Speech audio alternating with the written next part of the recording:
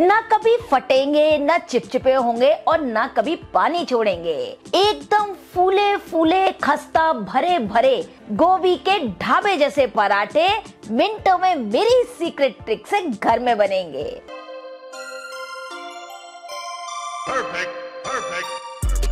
सर्दियों में हम सभी के घर में गोभी के पराठे तो ज़रूर से बनाए जाते हैं जैसे आप ढाबे पर पराठे खाते हैं ना एकदम भरे भरे और बहुत ही स्वादिष्ट होते हैं आज के गोभी के पराठों में मैंने ऐसा ट्विस्ट दिया है कि बिल्कुल वही ढाबे वाला फ्लेवर आपको घर के गोभी के पराठे में आएगा। साथ ही साथ बनाने के दो ऐसे खास तरीके बताऊँगी कि कोई भी बिगनर हो या बैचलर है इजीली गोभी के पराठे फटाफट से तैयार कर सकता है।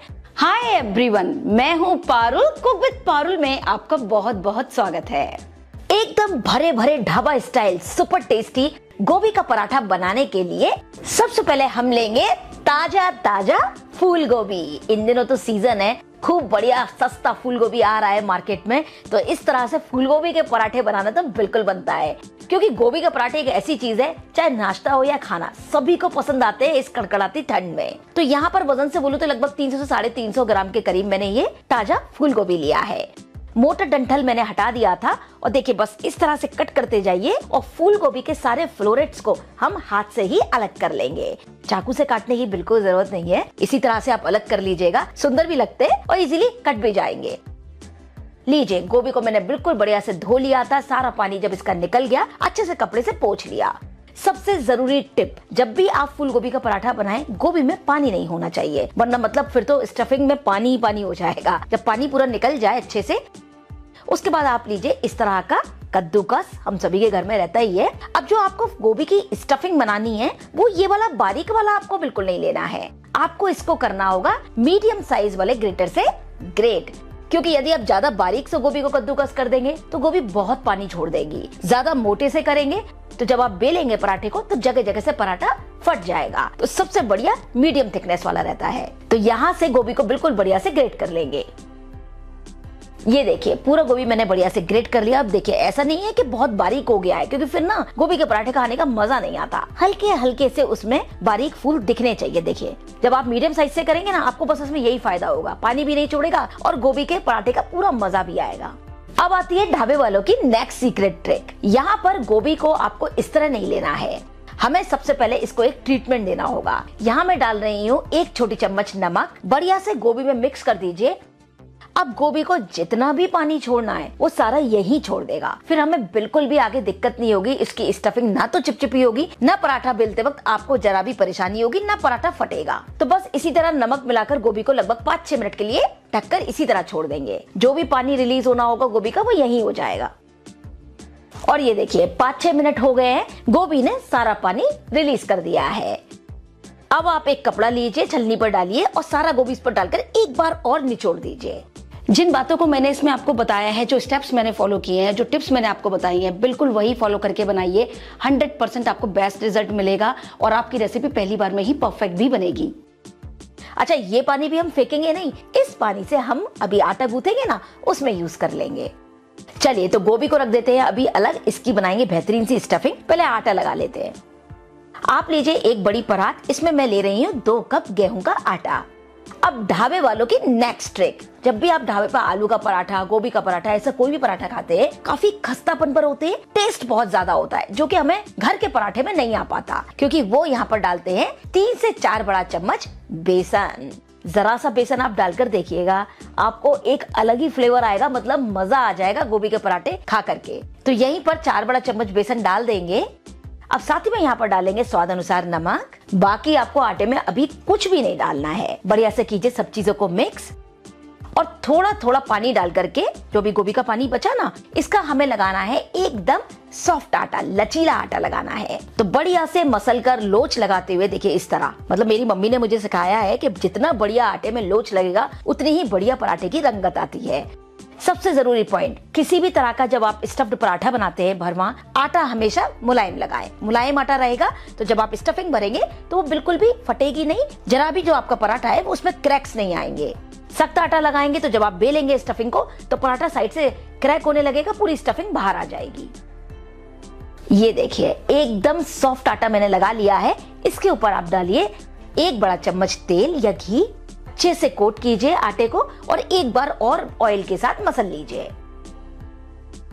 लीजिए, बिल्कुल सॉफ्ट आटा मैंने लगा लिया है, जैसे कि अभी आप देख सकते हैं। अच्छे पराठे की शुरुआत इसी स्टेप से होती है। तो इसको पाँच मिनट इसी तरह से ढक करके रख देंगे, जिससे थोड़ा सेट हो जाए बढ़िया से।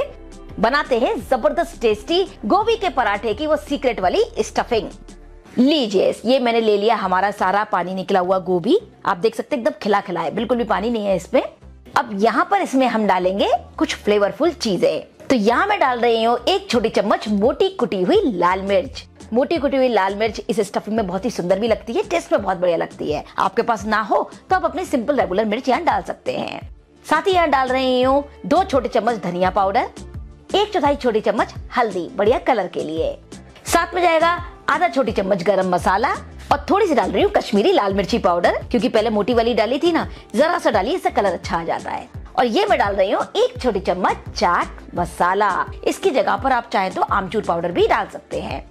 अब नेक्स्ट इसमें मैं डाल रही हूँ खूब सारा बारीक करा हुआ अदरक, हरी मिर्च, जिसको मैंने दरदरा कर लिया था मिक्सी में। बढ़िया से डालिएगा, क्योंकि ढाबे के पराठे में अदरक, हरी मिर्च का स्वाद निकल कर आता है। तो ज़्यादा सा डाल देंगे दो बड़ा चम्मच के करीब अदरक और हरी मिर्च दरदरे करे हुए। साथ में डालेंगे खूब सारा हरा धनिया। सब चीज़ें बिल्कुल बढ़िया से मिक्स कर लेंगे। अच्छा अभी स्टफिंग पूरी नहीं हुई है। अभी तो इसमें एक और हमें काम करना है। तभी आएगा वो ढाबे वाला स्वाद और साथ के साथ आपका पराठा ना तो कभी फटेगा, ना स्टफिंग चिपचिपी होगी। तो उसके लिए गैस पर चढ़ाइए आप एक पैन। इसमें डालेंगे एक बड़ा चम्मच तेल और तेल को बढ़िया से गर्म कर लेंगे। तेल के गर्म होते ही सबसे पहले इसमें हम डालेंगे आधा छोटी चम्मच जीरा और आधा छोटी चम्मच अजवाइन। अजवाइन आप ज़रूर डालिएगा। गोभी के पराठों में बहुत ही ज़्यादा टेस्टी लगती है और जो होटल ढाबे के पराठे होते हैं, उनमें ज़रूर पड़ती है। साथ ही यहाँ पर डालेंगे एक चौथाई छोटी चम्मच हींग। अब ये जो मसाले लगी हुई गोभी हमने तैयार की ना, सारी आप यहाँ पर डाल दीजिए। तो बस मसालों के साथ सिर्फ़ दो मिनट आपको इसको इस तरह से हिलाना है कि हल्की सी नरमाई आ जाए गोभी में और हल्का सा कच्चापन निकल जाए, पर क्रंच बना रहे। अब आप सोच रहे होंगे, पारुल तो तेल में क्यों नहीं डाली सारी चीज़ें? इसका भी रीजन है। जब आप तेल में इस तरह डालते हैं तो वो ना एकदम पक जाते हैं और फिर वो सब्ज़ी वाला टेस्ट आ जाता है स्टफ्ड पराठों में। लेकिन जब हम ढाबे पे पराठे खाते हैं तो उसमें वो सब्ज़ी वाला फ्लेवर भी नहीं आता, लेकिन पता चलता है कि हल्की सी तो इसे पकाया गया है। तो ये जो चीज़ है, आप ये स्टेप करके देखिएगा, आपको वो डिफरेंस भी आएगा, स्वाद एकदम ज़बरदस्त आएगा पराठों का मतलब एकदम डबल होगा। अच्छा मैंने नमक भी नहीं डाला था, अब आप इसमें थोड़ा सा नमक डालिए। क्योंकि नमक हमने गोभी में पहले भी डाला था, जब पानी छूटा था, इसलिए बहुत ज़्यादा नमक की ज़रूरत आपको यहाँ नहीं पड़ेगी। और यहाँ नमक डालेंगे तो जो भी थोड़ा बहुत मॉइस्चर होगा, वो अभी हम पका रहे हैं ना हल्का सा तो उसमें उड़ जाएगा।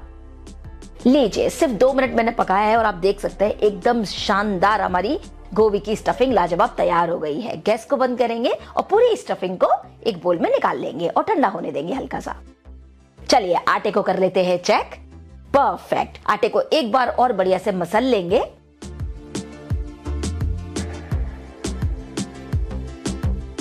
अब आटे में से हम लेंगे एक बड़े साइज़ की लोई। जैसे हम नॉर्मल में रोटी पराठा बनाते हैं ना, उसे थोड़ी बड़ी लीजिएगा, क्योंकि भरमा पराठे हल्के से मोटे ही बढ़िया लगते हैं। लोई तैयार इस तरह से कर लेंगे। अब इसे सूखे आटे में लपेटेंगे और इस तरह हथेली के बीच में दबाते हुए इसकी एक कटोरी नुमा बनाएँगे। देखिए इस तरह। किनारे हल्के पतले और बीच में हल्का मोटा। ये बहुत ज़रूरी पॉइंट है। किनारे आपको पतले रखने, बीच में हल्का सा आपको मोटा रखना है। जिससे कि जब आप पराठा बेलेंगे तो बिल्कुल भी पराठा आपका फटेगा नहीं। देखिए, इस तरह, बननी ना कटोरी। अब आप लीजिए दो चम्मच भरकर गोभी वाली स्टफिंग और पराठे में इस तरह से भर लेंगे। हाथ से थोड़ा सा दबा दीजिए और सब तरफ़ से ऐसे घुमाते हुए इसको हम गोल गोल घुमाते हुए सील कर लेंगे। हर एक चीज़ मैं आपको इसलिए बता रही हूँ, अगर आप पहली बार भी बना रहे हैं या बिगनर हैं तो भी आप इजीली गोभी का पराठा तो खुद से बना पाए। देखिए बिल्कुल इस तरह। जो भी ऊपर एक्स्ट्रा आटा है, या तो आप दबा दीजिए या अलग हटा करके आटे में ही मिक्स कर दीजिए। वापिस से सूखे आटे में लपेटेंगे हल्का सा आटा झाड़ देंगे। अब चकले पर इस तरह से दबाएँगे हल्के हाथ से। और हल्के हाथ से उंगलियों से थपथपाते हुए जितना बड़ा आप इसे कर सकते हैं हाथ से, पहले थोड़ा फैला लीजिए। प्रेस कीजिए हल्का सा बीच में। बहुत तेज़ी से नहीं, वरना गोभी पानी छोड़ देगी। सब काम हल्के हाथ से करने हैं। हल्का सा आटा छिड़किए और बेलन से बिल्कुल हल्के हाथ से रोटेट करते हुए, ऐसा नहीं करना है कि एक ही जगह प्रेशर दे रहे हैं। रोटेट करते हुए हमें पराठे को बेलना है। जिससे कि समान स्टफिंग हर एक कोने में चली जाए पराठे के। और वो जो शिकायत होती है ना कि पराठा बीच में से सख्त हो जाता है स्टफिंग बीच में रहती ही नहीं है। अभी मैं आपको एक और तरीका बताऊँगी। तो जिन लोगों के पराठे बीच में से सख्त हो जाते हैं या स्टफिंग नहीं रहती है, वो गलती भी नहीं होगी। ये देखिए, बिल्कुल धीरे धीरे आप इसको मीडियम थिकनेस का बिल्कुल ज़्यादा पतला नहीं करना, वरना मज़ा नहीं आएगा। और जैसे ही आपको लगे कि गोभी हल्की हल्की सी ऊपर की ओर झलक रही है, इसका मतलब है कि इससे ज़्यादा आपको पराठे को बड़ा नहीं करना है। परफेक्ट पराठा हमारा मिल गया है। साइड आप देख सकते हैं किनारे कहीं से भी क्रैक नहीं आया है। हल्की हल्की सी गोभी ऊपर आई है और ये जो आप देख रहे हैं ना, हल्की हल्की सी गोभी, ये बहुत ही ज़रूरी है गोभी के पराठे में। क्योंकि जब ये सिकता है ना पराठा तो ये गोभी सिकती है और उसका कुरकुरापन और टेस्ट आपके गोभी के पराठे में आएगा। तो यहाँ पर तवे को मैंने पहले ही गर्म होने के लिए रख दिया था। अब देखिए, जिस साइड से आपने पराठे को बेला है, देखिए ये वाली साइड ये जाएगी नीचे और पीछे वाली साइड आएगी ऊपर। यही सब ज़रूरी पॉइंट है बढ़िया, खस्ता और क्रिस्पी पराठा बनाने के लिए। फ्लेम को मीडियम कर देंगे और पराठे को एक मिनट नीचे से सिकने देंगे। आपको ना अभी कुछ ही देर में पराठा हल्का हल्का सा फूला फूला दिखेगा। ये देखिए, आप देख सकते हैं हल्का हल्का पराठा फूलने लगा है तो बस इस स्टेज पर धीरे से पराठे को पलट देंगे और नीचे से भी 30 टू 40 सेकंड सिकने देंगे। ये देखिए, पराठा घूम रहा है, यानी कि नीचे से भी हल्का सिक गया है। तो इस स्टेज पर इसके ऊपर लगाएँगे हम घी या तेल। पराठे वगैरह घी में बहुत टेस्टी बनते हैं। आप बटर में, तेल में किसी में भी बना सकते हैं। इस तरह से और पराठे को धीरे से पलट देंगे। ये देखिए, फूल भी गया। ऊपर से भी इसी तरह से घी लगा देंगे। सुपर! कुछ कहने की ज़रूरत नहीं है। आप देख सकते हैं, एकदम बढ़िया पराठा हमारा तैयार हो रहा है। अब वापस पलटेंगे और नीचे से भी बढ़िया सुनहरा होने तक इसे सेकेंगे। और आप देख सकते हैं कि जो गोभी हल्की हल्की दिख रही थी ना, ये देखिए, अभी कैसी बढ़िया सिकी है। यही खासियत होती है इस गोभी के पराठे की और यही देता है ज़बरदस्त टेस्ट तो बस दोनों साइड से उलटते पलटते बढ़िया सुनहरा होने तक सेक लेंगे। फ्लेम को थोड़ा सा आप कम कर दीजिए। सुपर। ये लीजिए, हमारा ढाबा स्टाइल ज़बरदस्त, भरा भरा, टेस्टी गोभी का पराठा है। गर्मा गर्म, बिल्कुल तैयार। तो सबसे पहले मैं इस पराठे को आपको कट कर कर दिखाती हूँ कि हमारी स्टफिंग अंदर तक कैसी भरी है। ये देखिए, मैं यहाँ से कट कर कर आपको दिखाती हूँ।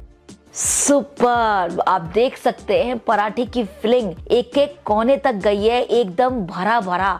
हमारा गोभी का स्वादिष्ट पराठा तैयार हुआ है देखिए। और गोभी के दाने दिख भी रहे हैं। ये है खास बात इस पराठे की। चलिए तो ये तो हो गया हमारा एक तरीका। अब मैं आपको दिखाती हूँ दूसरा तरीका। तो उसके लिए आप फिर से एक बड़ी लोई लीजिए, आटे में कोट कीजिए और थोड़ा सा इसको बेल लीजिए।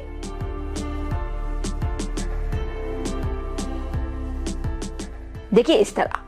अब बीच वाले पोर्शन पर लगाइए घी, थोड़ा सा छिड़किए सूखा आटा और यहाँ पर इस पर रखिए दो चम्मच भरकर स्टफिंग मेरी नानी अक्सर इसी तरह बनाती थी, वो पराठा बीच में से सख्त नहीं होता है स्टफिंग भी बराबर सब तरफ़ समान रहती है।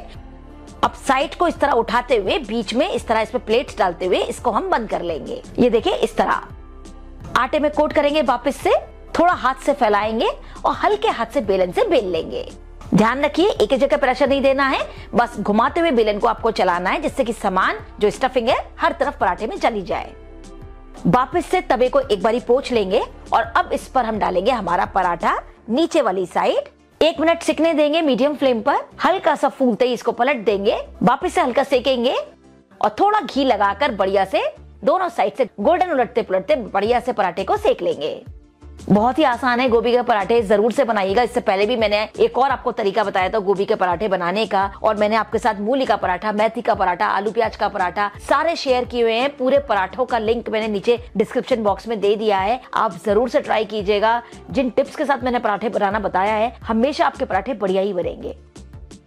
और ये लीजिए हमारा दूसरा पराठा गोभी का बिल्कुल तैयार है। ये भी पराठा आप देख सकते हैं। देखने से ही पता चल रहा है एकदम भरा भरा और ढाबे जैसा खस्ता करारा तैयार हुआ है। तो चलिए बाकी पराठे भी मैं फटाफट से बना लेती हूँ। करते हैं फिर गर्मा गर्म सर्व.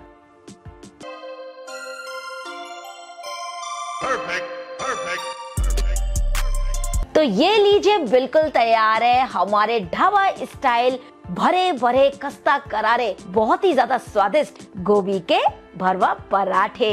यहाँ मैंने इसको सर्व किया है ताजे दही और अचार के साथ। हमारे यहाँ तो इसको इसी तरह पसंद किया जाता है। आपके यहाँ कैसे खाया जाता है, आप मुझे कमेंट में ज़रूर बताइएगा। और ये देखिए, मैं तोड़कर दिखाती हूँ। पूरा भरा भरा धुआँ निकलता हुआ गर्मा गर्म। और इसके ऊपर डालिए इस तरह से मक्खन जैसे ढाबे पे मिलता है ना। वाह ऐसे बहता हुआ मक्खन जा रहा है। और जहाँ जहाँ से गोभी दिख रहा है, उसके अंदर मेल्ट होके मक्खन जा रहा है। तो आप समझ सकते हैं कि क्या स्वाद होगा पराठे का। थोड़ा डालिए बारीक कटा हुआ हरा धनिया। अब आप तोड़िए इस तरह वाह अब बटर लगाते हुए फिर ताजी दही के साथ खाइए, मज़ा ही आ जाएगा। तो फ्रेंड्स अगर आपको आज की मेरी ये ढाबे वाले गोभी के पराठे की रेसिपी पसंद आई हो, मेरी मेहनत अच्छी लगी हो तो प्लीज़ प्लीज़ प्लीज़ वीडियो को लाइक शेयर और आपके अपने चैनल कुक विद पारुल को सब्सक्राइब करना बिल्कुल ना भूले। तो फ्रेंड्स अगर आपको मेरी आज की ये स्पेशल ढाबे वाले गोभी के पराठे की रेसिपी पसंद आई हो, मेरी मेहनत अच्छी लगी हो फ्रेंड्स तो please please please please please please video को लाइक शेयर और आपके अपने चैनल कुक विद पारुल को सब्सक्राइब करना बिल्कुल ना भूले। Thank you for watching cook with Parul. जय हिंद। जय भारत।